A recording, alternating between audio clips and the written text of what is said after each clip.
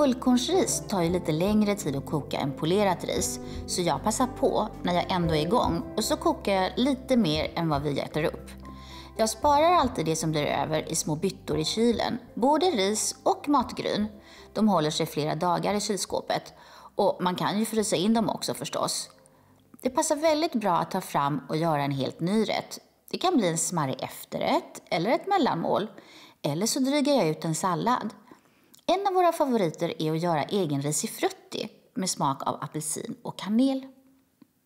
Till det här så behöver vi 4 deciliter kokt fullkornsris, 1 deciliter vispgrädde, 4 matskedar matyoghurt, rivet skal av en halv apelsin, saften av en halv apelsin, lite sötning efter tycke och smak, till exempel en matsked honung och cirka en halv tesked malen kanel.